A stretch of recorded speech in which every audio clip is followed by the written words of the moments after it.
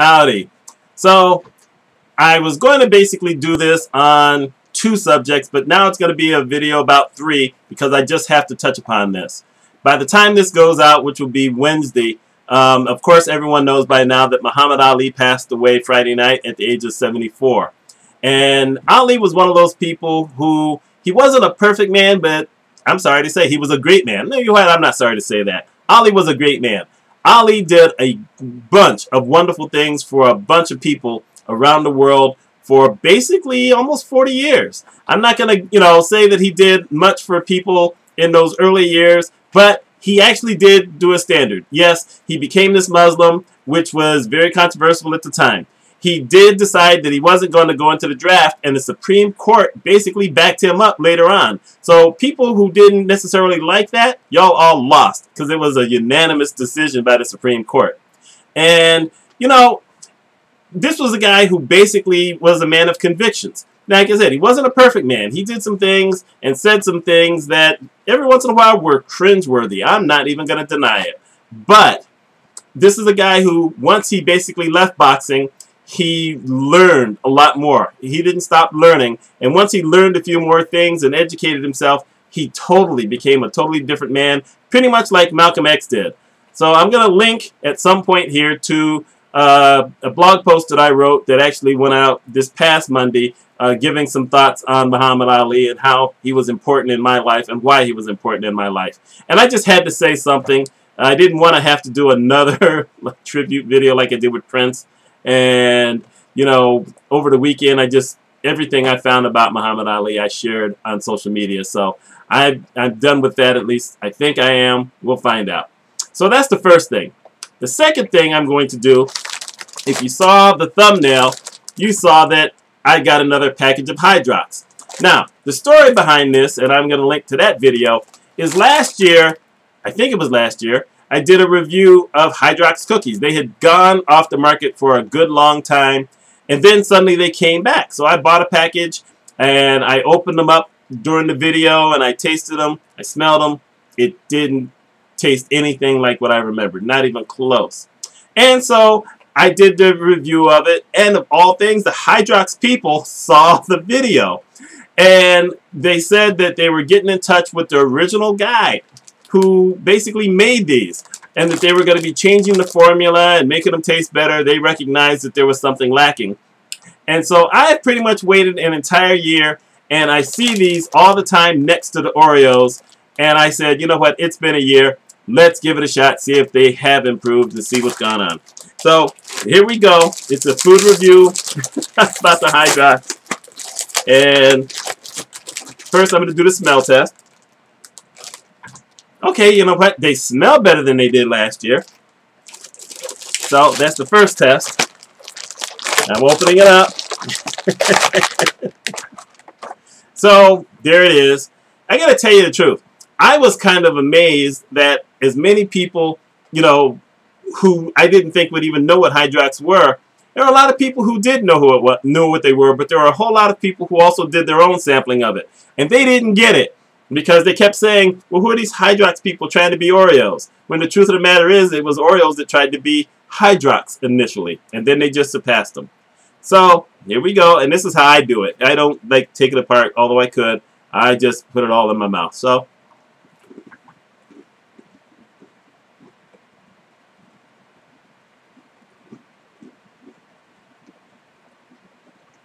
Okay. It still doesn't taste like what I remember, but they're a lot better than they were. So you Hydrox people, you definitely have improved your cookie. I'm glad I bought this, and I'm going to enjoy eating these. Um, yeah, this is a lot better than last year. So there you go. This is definitely a quality alternative. If you want something a little different than the Oreos, you guys have done a good job. Thank you for that. Now, let's talk about Oreos for a bit. You know, I don't get a lot of people who ask me a question about certain things, and I'm glad I got one finally because now I have something to kind of talk about that's a little different than the norm.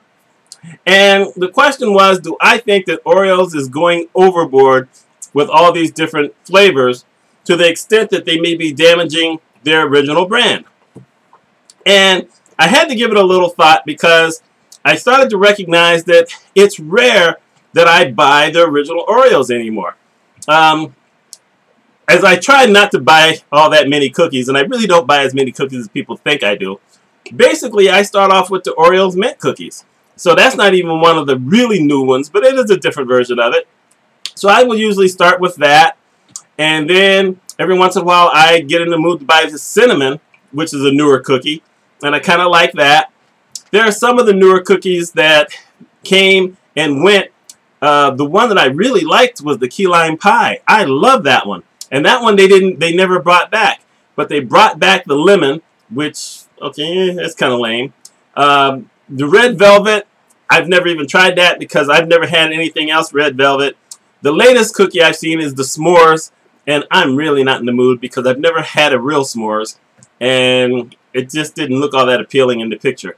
Uh, in one of my other videos, I mentioned at the end of it that I had tried the fudge, uh, was it the cupcake? I think it was the cupcake Oreos, and that was horrible. it was just nasty.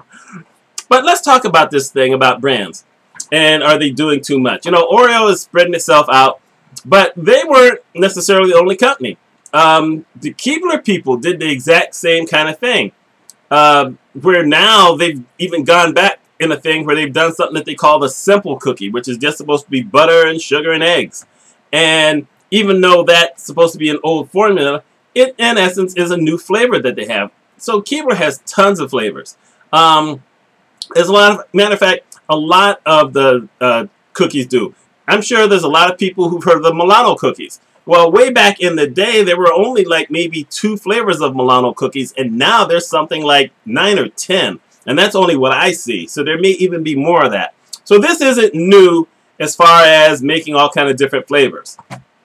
And what's interesting is that it didn't start really with cookies. And I'm going off, uh, some of you people are going to know who Malcolm Gladwell is. This is a very smart guy, very intelligent guy. And he did, I think it was a TED Talk or it may have just been an interview thing. And he was talking about spaghetti sauce, believe it or not. And he was talking about Ragu and Prego. And Ragu had basically cornered the market early on, and you know they were one of the first companies who was able to make a real success out of making a true spaghetti sauce that people really enjoyed. And so you had the people for Prego who came out and they put out their Prego. And their their selling point was that their sauce was thicker and it had better ingredients in it. And supposedly, you know, this was the selling point because they had done a lot of market research and this is the type of thing that people said they wanted. Yet, when they put it out, they found that their product was kind of a bust when compared to Ragu. They just couldn't crack the market. And they said, well, wait, we did everything right.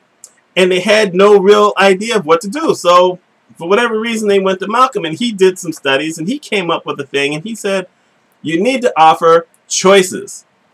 And they didn't get it at first. He said, well, basically, all you've done is you've come up with one thing that is a competitor of Ragu, and Ragu is kicking your behind. But what we found out is that people want choices. They don't want just one flavor going against ragu. Sometimes they want a flavor of maybe onion, and sometimes they want meat or whatever, and I'm just, you know, throwing these things out, but they wanted differences. So the Prego people did come up with four other versions. So now they had five versions, and all of a sudden the market started to turn, and they became as popular as Ragu, and it sometimes passed them because people liked this idea of having choices. And it didn't necessarily damage their original brand because it hadn't been able to overcome Ragu on its own. But by having all these choices, then they were able to really compete. So what happens? Ragu decides to do the same thing. And they're not the only ones. There's tons of companies that you know, learn these kinds of lessons. When you think back on it, Chef Boyardee did the same thing. I mean, way back when, uh, you know, I point myself out as being really all this, you know, very old, but I'm not really all that old, uh, you know, in comparison. But when I was a kid, the only thing that I remembered was the spaghetti. I mean, it was the uh, Franco-American or Chef Boyardee, I don't remember who. Anyhow, there was the spaghetti. And that's all it was. And then later on, here came beefaroni, and here came ravioli, and here came all these other flavors And in essence, it was kind of the same thing when you think about it. You know, SpaghettiOs, SpaghettiOs with meatballs, SpaghettiOs with uh, uh, hot dogs, you know. Yet, you gave people choices and you were able to build up your brand. Rice-A-Roni, same thing. Think about how many flavors of Rice-A-Roni there are now when way back in the day you didn't have all these flavors. You know, soups, yes. Campbell soups always had a bunch of different flavors, but it's soup. And, you know, it just really, this is what people like. People like to have choices. They like to make the selection. And you know that the people who are making these things, they look at the numbers and see how the sales are going and they'll still make everything, but they're going to make more of the ones that are selling better. And it just gives them a better chance to compete. So is Oreos going nuts and are they messing up their major brand? Probably not. I think that, you know, we like I said, we all kind of like our choices. So some people like the peanut butter. Some people like the special edition Reese's peanut butter better than the regular peanut butter. Some people are going to like the lemon. Me, like I said, I like the key lime because they had a, a graham cookie that was just absolutely wonderful. They need to just put that out. I said that last year and I'm going to say that again. Just put out the cookie. If you don't want to put any cream on it, fine. Just put out that cookie. Um, so we like choices. So that's my thought on the Oreo. I haven't looked up any numbers to see if the others are, you know, overtaking it, but it's pure brand strategy. This is one of the kind of things we talk about in, you know, trying to get a web presence, for instance. You don't just do one thing. You don't just blog. You get on either Facebook or Twitter or LinkedIn or whatever. You try to attack social media in different ways. Uh, my friend earlier today was trying to talk me into doing Periscope. I'm not saying I'm never going to do it, but I ain't doing it now. And there's Periscope, there's Snapchat, uh, uh, is Blab, I think, is still around. I don't know about Meerkat. Um, there's just all these things. There's always something new coming. And some people are trying to do it all. So, you know, people love to have choices. So those are my thoughts. Those are my thoughts on the cookies. I've given you my thoughts on Muhammad Ali. What do you guys have to say? Let me know. I will talk with you later on.